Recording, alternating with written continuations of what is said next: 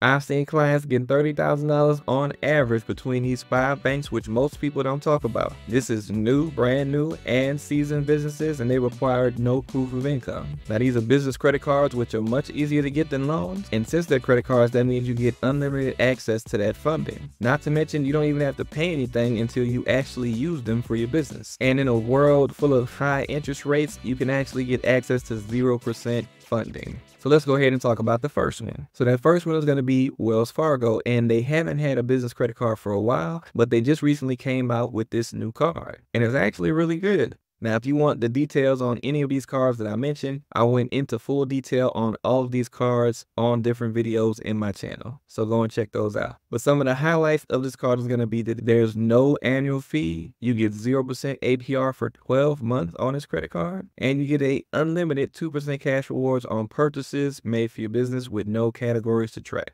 which is extremely competitive compared to some of the other offers at these other banks. Okay, so the next card we're going to talk about is the GM Rewards card. Now, one of the major benefits of this card is that it does a soft pull, so it won't hurt your credit score or leave an inquiry from you applying for this card. Most people I've seen get approved for at least 40000 on this card, so it's pretty generous. You get 0% APR for the first 12 months on this card. If you do use this card for, you know, car purchases or things related to that, you get 5% in certain category with that. 3% on gas stations, restaurants, office supplies, and 1% on all other purchases. So that makes this another really great option. The next thing we're going to talk about is Truist. Now, they may or may not be in your area, so you would just check to see if they are in your area. But we're going to talk about their business cash rewards card. Now, this one, another one with no annual fee. You get a 0% APR for nine months with this one, not 12, but nine is still good. And you get 3% cash back on gas, 2% at restaurants, office supply stores, and they do limit you up to $2,000 a month between that 2 and 3% category, but it's still something. And you do get a 1% cash back on all eligible purchases outside of that. So overall, this is still a really decent card. Again, just see if is in your area, and they can be pretty generous with their limits as well.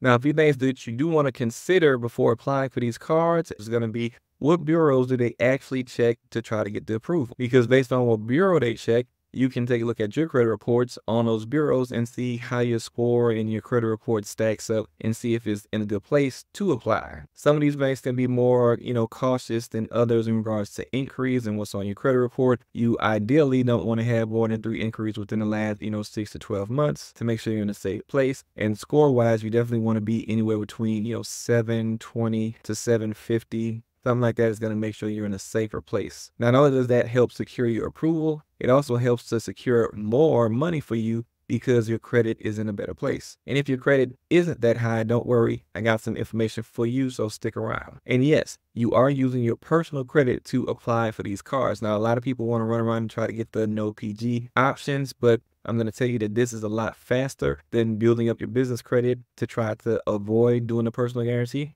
You can basically skip the line on how long it's going to take you to get funding for your business or to be able to make a major purchase that you might need to make to make some things happen for your business or before you miss out on a great investment for your business. So speed is definitely important and getting access to capital is going to be where that speed is going to really come in handy for you and your business. So I would tell you don't worry about the personal guarantees right now. If your credit is in a good place, go ahead and jump on these opportunities because they can help you get what you need. Now, some other things to consider is do you already have a relationship with these banks? A lot of these banks nowadays, they don't have the one night stand mindset where you just apply online, get high limits, and just go on about your business. They want you to have, you know, some type of relationship like a business bank account with them or maybe a personal credit card with them. These things help show that you have some type of connection or want to be with them for the long haul. And then they are more likely to not only approve you, but to give you higher limits. So take into account if you already have relationships because it would definitely benefit you to do so. And look, if you want help in kind of figuring out, you know, what bureaus these banks check, which one should you apply for first or last, or what other banks are even out there that you can actually apply for to get funding that aren't on this list or most of the lists that you might see out there. You know, what are the right relationships that you should be building and how to build those relationships with each specific bank. If you want help with all of that,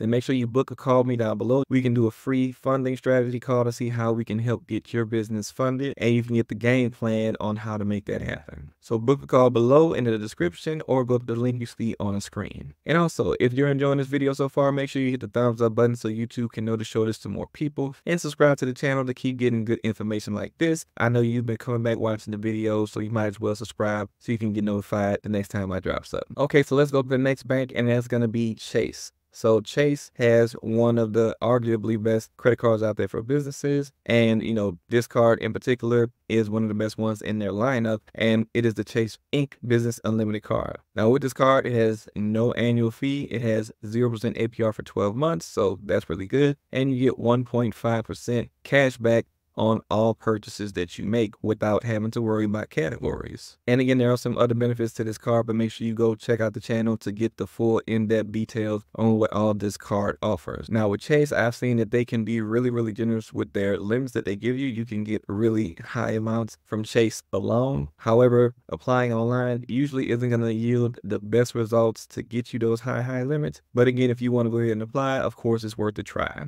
And the next bank is going to be Amex. So I want to to mention something to you guys because a lot of you guys are always striving to get that platinum card and to get the gold card. And I definitely understand why. They do have some great benefits and bonuses that come with these cards with the points that you get, as well as some other bang. But basically what you want to remember, especially if you're a new business, is you don't want to rack up a whole bunch of money in spending on the things you need for your business and then have to pay all that back at the end of the month. So you have to remember that these two cards are actually charge cards. So you will have to pay them off at the end of the month. There is, you know, a little bit of leeway there, but I would definitely not try to jump out the gate for these unless these are things that you know that you can um, sustainably, you know, take care of in having to pay that off every month with it being a charge card. But I do want to draw your attention to the blue business cards that they have, the cash card as well as the plus card. Now these cards are pretty much the equivalent of each other. One builds up points and the other builds up cash rewards. So that's really going to be the main difference.